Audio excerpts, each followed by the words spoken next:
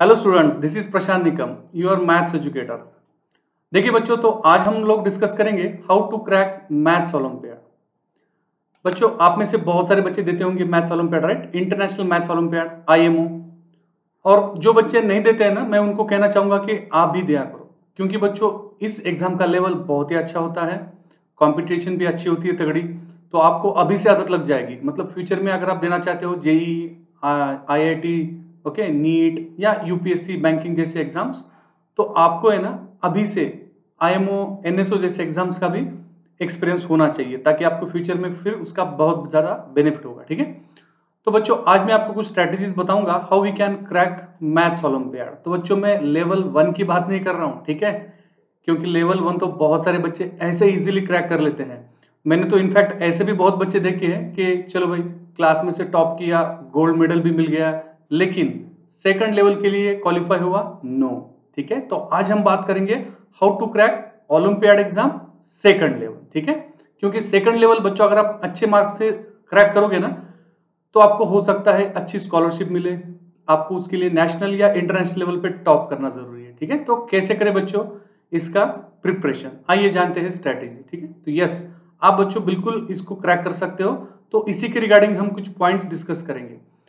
देखिए बच्चों last video में भी मैंने आपको बताया था फोकस ऑन कंसेप्ट ये तो सबसे इंपॉर्टेंट बात है। मतलब आप चाहे डिस्क्रिप्टिव एग्ज़ाम की तैयारी कर रहे हो कॉम्पिटेटिव एग्ज़ाम की तैयारी कर रहे हो, ये पॉइंट तो बच्चों सबसे इंपॉर्टेंट है कि concept should be very clear right concept आपके क्लियर होने ही चाहिए। इसके लिए कोई दूसरा ऑप्शन है नहीं बच्चों। बच्चों, फिर आपको रेफरेंस बुक यूज़ करने हैं, ठीक है? रेफरेंस बुक में सबसे जो इंपॉर्टेंट बुक है बच्चों, जो कंपलसरी बुक भी हम कह सकते हैं एनसीआरटी का बुक राइट ये तो आपको फॉलो करना ही करना है। और बच्चों हाँ और एक बात मैं आपको बताना चाहूँगा कि यहाँ पे जो मैंने बुक्स आपको आ, मैं बताऊँगा ना वो क्लास एट के है। लेकिन ये सबके लिए मतलब कम ये कॉमन है। चाहे आप एट में हो नाइन्थ में हो टेंथ में हो सिक्स में सेवंथ में किसी भी क्लास में। तो मैं जो बुक्स बताऊँगा ना ये बुक्स सबके लिए कॉमन है ठीक है? तो बच्चों सबसे पहले आपको एनसीआरटी पूरा का पूरा क्लियर करना है। मतलब कंसेप्ट क्लियर करने हैं प्रैक्टिस करनी है ठीक है? इसके बाद आप बच्चों प्रैक्टिस करेंगे R D Sharma, R S Agarwal जैसे बुक से। ठीक है? इसमें आपको ढेर सारे एग्जाम्पल्स मिल जाएँगे तो आप इसको भी रेफर कीजिएगा।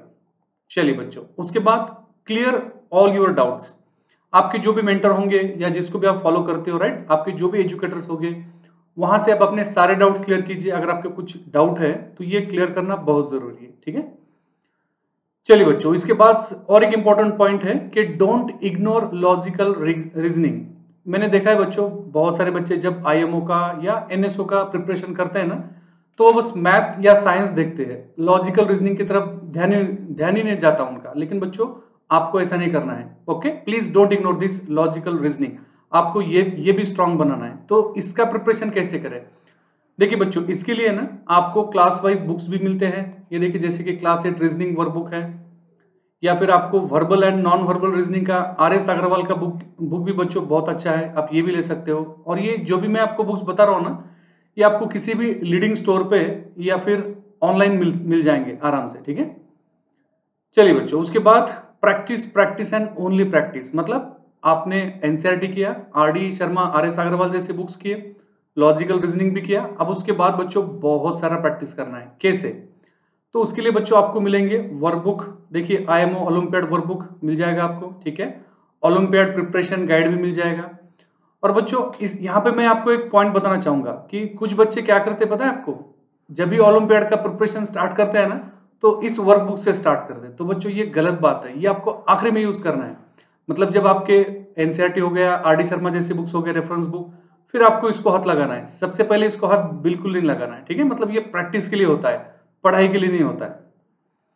चलो बच्चे, देख लीजिए, और भी काफ़ी सारे बुक्स है आपके लिए, जैसे कि ब्रेन मैपिंग एकेडमी का एक बुक है टैलेंट ओलंपियाड ठीक है टैलेंट एंड ओलंपियाड बुक उसके बाद बच्चों, देखिए, दिशा पब्लिकेशन का भी बुक आपको मिल जाएगा तो ये सारे रेफरेंस बुक है। चलिए, उसके बाद बच्चों, हम फोकस करेंगे टाइम मैनेजमेंट पे, क्योंकि बहुत बार ऐसा होता है कि यार एग्ज़ाम तो इजी था, मैं सारे क्वेश्चन सॉल्व कर सकता था, लेकिन टाइम ही नहीं मिला। तो बच्चों टाइम मैनेजमेंट पे आपको बहुत सारा ध्यान रखना है, ठीक है? मतलब आपको जब आप एग्ज़ाम की तैयारी करोगे ना तो आपको ये दिमाग में लेके चलना है कि यार मुझे टाइम मैनेजमेंट भी सीखना है या करना है एग्ज़ाम के टाइम पे, ठीक है? तो बच्चों, ये कैसे कर पाएँगे? उसके लिए आपके पास कुछ टिप्स एंड ट्रिक्स होनी चाहिए राइट आपको स्मार्ट वर्क करना पड़ेगा। मतलब आपने हार्ड वर्क कर लिया बहुत सारा, लेकिन एग्ज़ाम में बच्चों, आपको स्मार्ट वर्क भी करना पड़ेगा। मतलब ज़रूरी नहीं है कि हर एक question step by step solve करे राइट तो आपके लिए ना, इसके लिए आपके पास टिप्स एंड ट्रिक्स होनी चाहिए। तो देखिए, आप में से अगर कोई स्टूडेंट मेरा रैंकर्स ओलंपियाड बैच का स्टूडेंट है तो प्लीज़ वो कमेंट करें, ठीक है, कि आपको इसका बेनिफिट हो रहा है कि नहीं हो रहा है। क्योंकि मैं हमेशा टिप्स एंड ट्रिक्स बच्चों को देता हूँ। जब भी हमारा कोई बैच होता है ना तो वहाँ पे मैं ये बिल्कुल देता हूँ टिप्स एंड ट्रिक्स तो आप में से अगर कोई स्टूडेंट है रैंकर्स बैच वाला तो प्लीज़ कमेंट ज़रूर कीजिए कि आपको इसका बेनिफिट हो रहा है क्या नहीं हो रहा है, ठीक है? तो बच्चों टिप्स एंड ट्रिक्स पे आपको फोकस करना पड़ेगा। और ये टिप्स एंड ट्रिक्स है ना आपको आपको एक्सपीरियंस से मिल जाएगी, ठीक है? क्योंकि इसका कोई रेडी रेडीमेड बुक नहीं होता है। तो या तो एक्सपीरियंस है, या आपको आपके मेंटोर से ये मिल जाएगा, ठीक है? चलो बच्चों, उसके बाद और एक ज़रूरी बात है सॉल्व प्रीवियस ईयर पेपर्स आपको है ना, पिछले पाँच साल के, दस साल के पेपर्स मिल जाएँगे तो वो भी आप सॉल्व कीजिए। देखिए, ऐसे आपको पेपर्स मिल जाएँगे। लेवल वन के भी पेपर्स अवेलेबल है लेवल टू के भी पेपर्स बच्चों अवेलेबल है। तो ये पेपर्स आप ऑनलाइन परचेस कर सकते हो।